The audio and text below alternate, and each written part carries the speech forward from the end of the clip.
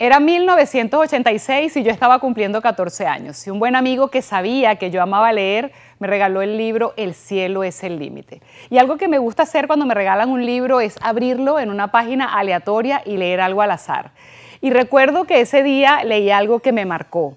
El autor decía algo así como la capacidad que posee usted para la felicidad el desarrollo y la creatividad es infinita. Literalmente no existen límites para lo que usted puede lograr. Wow, definitivamente eso me inspiró, me hizo sentir poderosa, me regaló una visión de la vida que yo no conocía. Sé que por eso hoy soy psicóloga, porque me hacía mucha ilusión poder darle una bocanada de esa inspiración a otros seres humanos. Parte de mi trabajo, la que más amo, consiste en escuchar a las personas y descubrir a través de sus palabras cómo ven ellos el mundo. Así que disfruto coleccionando, analizando, aprendiendo y nutriéndome de sus historias. Y hoy vengo a contarles lo que he aprendido estos últimos 10 años en mi investigación sobre eso que algunas personas practican y que les permite ser felices, sanos y exitosos sin importar cuál sea la situación. Yo empecé a buscar eso que hacía felices a algunas personas en el año 2001 un momento de mi vida en el que afortunadamente me di cuenta de que era profundamente infeliz.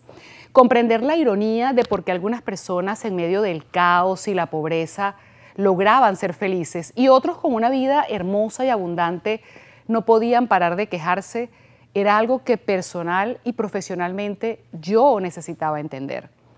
Finalmente, en el año 2007, descubrí esa herramienta maravillosa, descubrí eso que producía felicidad sin importar cuál fuese la situación. Y lo descubrí paradójicamente en un momento de profundo dolor en mi propia vida. He podido comprobar su efectividad cada día desde entonces hasta hoy.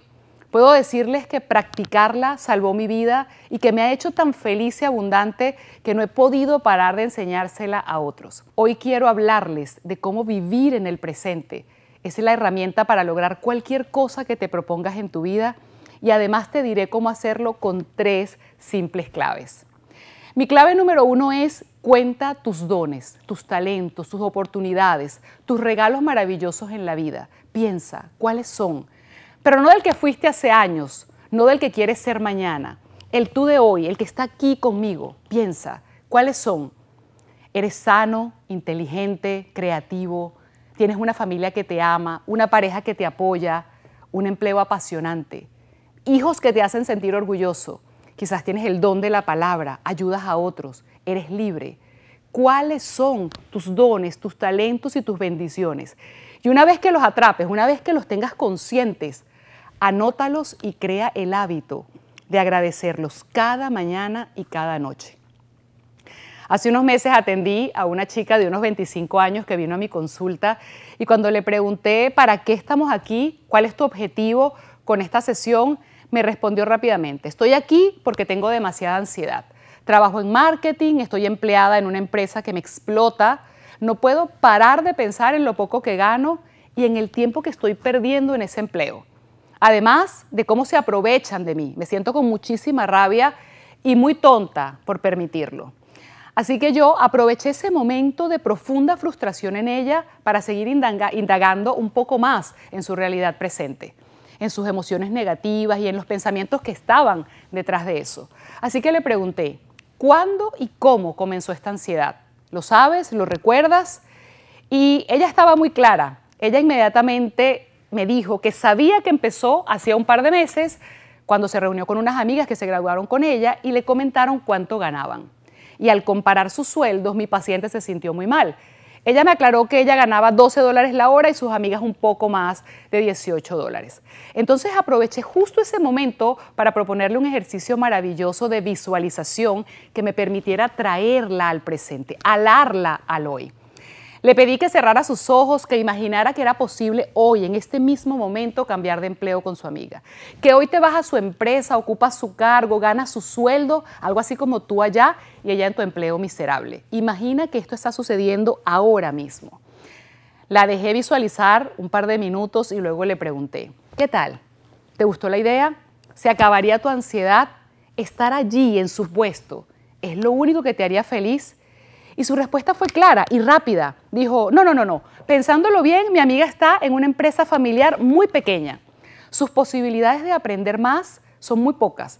Ella gana más que yo, pero allí no hay forma de aprender lo que yo estoy aprendiendo ahora. Ella solo trabaja para los dueños, en cambio en mi empleo yo trabajo para otras compañías.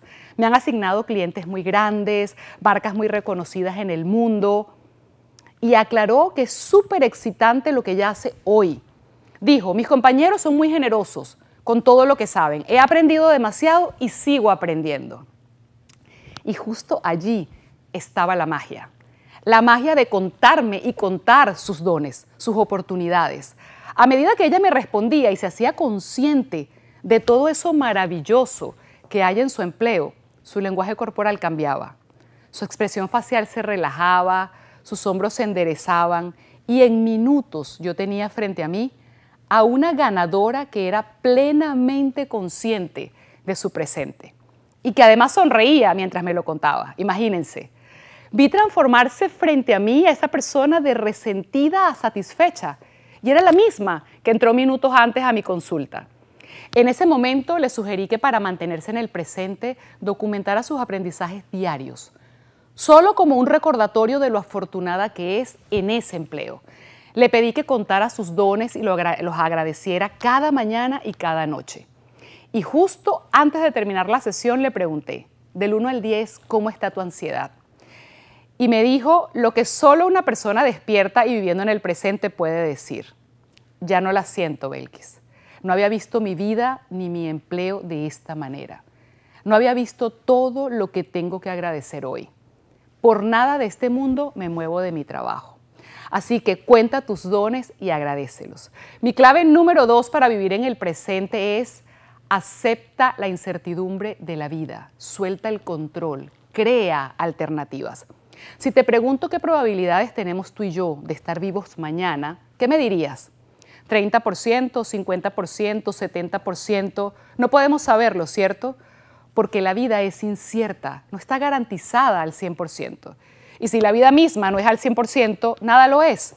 Y no digo que no planifiques o que no hagas agenda, digo que no te quedes obsesionado en eso de quiero estar seguro al 100% antes de. ¿Y saben qué? Que necesitamos entender que cuando quiero estar 100% seguro de algo, me voy al futuro. Quiero certeza de lo que pasará. Quiero controlar los resultados. Y eso nos roba la paz.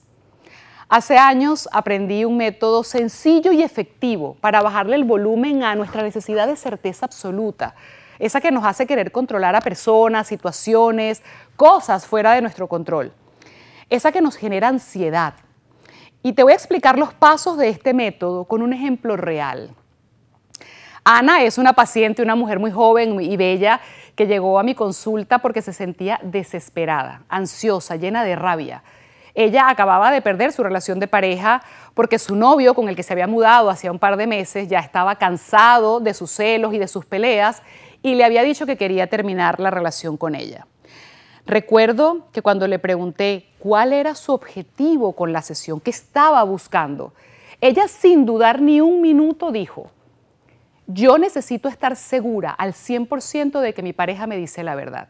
Quiero estar segura de que no me engaña. Me han dicho que usted es muy buena entrenando las mentes de las personas, así que quiero que me enseñe cómo hacer eso. Ustedes se podrán imaginar, ¿no? Yo con años de estudio, de práctica, de buscar cualquier herramienta para lograr soltar la necesidad de certeza al 100% y Ana pidiéndome justo eso dentro de la sesión. Lamentablemente, aún hay mucha gente que prefiere tener la razón, matar o morir antes que aceptar que podrían haberse equivocado para recuperar la paz. Yo aproveché para seguir la sesión y le pedí que me contara de esa última pelea, ese día que su novio terminó con ella, qué fue lo que pasó. Y ella comenzó a decirme que lo llamó por teléfono unas 10 veces seguidas, que él no contestaba, que luego le dejó un poco más de 20 mensajes y que anotó la última hora, la que él había estado en línea, porque ella estaba segura de que él tenía el teléfono en sus manos mientras no le contestaba. Y que a medida que ella le enviaba más y más mensajes, se ponía más furiosa. Entonces empezó a insultarlo, a decirle que ella sabía que él la estaba engañando. Y finalmente, cuando él la llamó un poco más de una hora después, ella sin dejarlo hablar ni una palabra, lo gritó, lo acusó de mentiroso y lo insultó. Y que por eso fue que él dijo que quería terminar la relación. Así que empecé justo en ese momento a enseñarle a Ana este método que uso para bajarle el volumen a sus emociones negativas y soltar la necesidad de certeza y control. Le expliqué, lo primero que tienes que hacer es cuestionar y validar tus pensamientos negativos. Si ya sabemos que el 100% no existe, ¿cuánto crees tú entre el 1 y el 99% que tu novio no te contestó intencionalmente? que quiso dañarte creándote esa angustia? ¿Cuánto crees que ese pensamiento negativo es la única verdad que existe? 30%, 70%, 99%. Yo le insistí mucho en que me diera un número. Y ella empezó a responderme que esa tarde estaba muy, muy molesta y que ella seguía convencida de su verdad, que él la estaba engañando y que el número que me iba a dar era 99%. 99% ella creía en su verdad absoluta. Y quizás ustedes no lo entienden, pero para mí en mi trabajo esto es un éxito maravilloso, que una persona que sufre y que es inflexible me deje un 1% para trabajar con el paso número 2, que significa y que es crear alternativas diferentes con ese 1% que mi paciente me regala. Así que empecé. Ana, ¿qué tal si tu novio tenía a su jefe enfrente? No podía contestar. ¿Qué tal si tu novio iba corriendo al baño? No lograba contenerse y dejó el teléfono en el escritorio. ¿Qué tal si tu novio tiene una reunión importantísima, va a presentar un proyecto y no quiere desconcentrarse con la llamada? Esa tarde yo creé para ella alternativas que explicaran lo que podía haber pasado, pero diferentes a la única alternativa negativa y contra ella que Ana creó y creyó el día de la discusión. Recuerdo que a medida que yo le daba opciones y ella las consideraba como posibles, su lenguaje corporal cambiaba, su expresión facial se relajaba, sus hombros se enderezaban y en minutos yo tenía frente a mí a un ser humano que sabía que podía haberse equivocado. La vi transformarse frente a mis ojos de inflexible a flexible. Ana se fue esa tarde siendo alguien que sabe que no sabe al 100%. Así que para practicar mi clave número dos, necesitamos aprender que la mayoría de las situaciones de nuestras vidas son neutras, no son ni buenas ni malas, pero que cuando elegimos pensamientos negativos y creemos en ellos al 100%, inevitablemente sentiremos emociones negativas. Rabia, tristeza, miedo y por ende actuaremos de forma negativa, dañando nuestras vidas, nuestra salud, nuestras relaciones. Así que abracen la incertidumbre, suelten el control y creen alternativas. Y mi tercera clave infalible para vivir en el presente y lograr cualquier cosa que te propongas en tu vida es conocerte. Conocerte profundamente, mucho, todo lo que puedas. Tus fortalezas, debilidades, habilidades, aptitudes, miedos. Conocerte te permitirá definir qué necesitas trabajar en ti día a día para volverte imparable. Y además para crear una afirmación poderosa y hecha a tu medida que describa quién eres tú hoy y quién elegirás ser cada mañana al despertar para lograr todas tus metas. Recuerdan que les conté hace un rato que en el año 2007 aprendí a mantenerme en el presente. En ese momento yo era una mujer de unos 35 años. Estaba mal casada, era muy infeliz, tenía un trabajo que realmente no me gustaba. Además, me enfermaba con frecuencia. Puedo decirles que tenía una vida de la que constantemente quería escapar y no tenía ni idea de cómo hacerlo. Pero el primero de octubre del 2007, la vida me regaló una oportunidad. Ese día vi morir a mi papá. Solo tenía 58 años. El mejor hombre que conocí en mi vida. Alegre, de carcajadas contagiosas, detallista. Murió desgastado de vivir a diario en un futuro incierto, lleno de ansiedad, de impotencia, de mucha rabia. Murió de un derrame cerebral producto del estrés, después de nueve días en coma y nueve largos años peleando y esperando ganar una demanda contra la empresa en la que había trabajado. Demanda que, por cierto, ganó un mes después de haber muerto. Pero les mentiría si les digo que fue solo la muerte de mi papá lo que me regaló esta nueva visión de la vida. Fue ver lo que hice yo, cómo pensé, sentí y actué durante esos nueve días en el hospital me di cuenta de que no pensé jamás en el pasado, en lo injusto de su demanda, o los abogados, en lo lento de la empresa, en lo que no lo ayudó. Tampoco pensé en el futuro. No pensé en su muerte o si quedaría postrado en una cama, ni en la preparación de un funeral. Solo pensé en qué podía hacer cada minuto para aferrarlo a la vida. ¿Cómo hacer que siguiera respirando? Viví cada día de esos nueve días como si no hubiese mañana. No logré salvarlo porque su vida no dependía de mí, pero logré salvarme yo porque mi vida sí dependía de mí. Esa experiencia me hizo consciente de que estando en el presente yo era una mujer más inteligente, segura, proactiva y poderosa. Pude ver que en esos nueve días hice cosas increíbles. Así que me senté y anoté en un papel características de mi personalidad que no sabía que tenía o que quizás había olvidado que tenía, pero que pude reencontrar en mí en esos nueve días. Me di cuenta de que si las practicase a diario, podría literalmente soltar esa vida miserable que tenía y ser feliz. Que si las incorporase a mi mentalidad como un hábito, si las hiciera parte de mi vida, me harían imparable.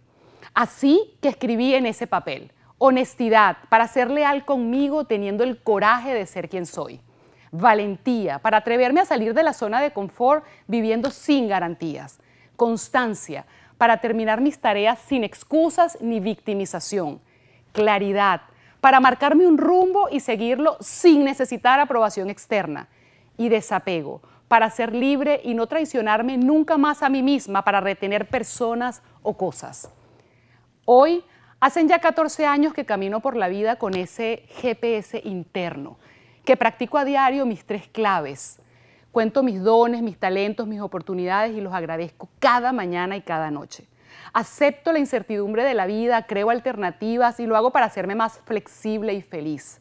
Y trabajo en conocerme y aceptarme más cada día, repitiéndome con mi afirmación personal quién soy hoy. Por eso estoy aquí, porque quería contarte que yo he comprobado en carne propia y en los resultados de miles de mis pacientes que vivir en el presente es la herramienta para lograr cualquier cosa que te propongas en tu vida sin importar cuál sea tu situación.